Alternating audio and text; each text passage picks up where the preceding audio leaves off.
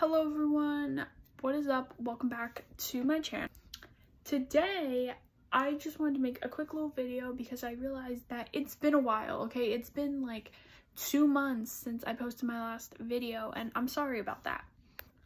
I just have been doing a lot of things and yeah, so I realized that this is probably the only week that I could film this type of video and let you guys know what's going on because next week I'm gonna be on vacation and then the following week I actually start school again which is terrible.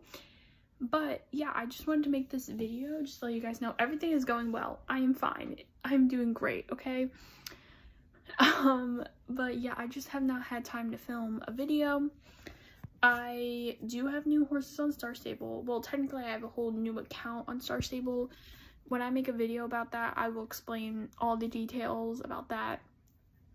Um, but yeah.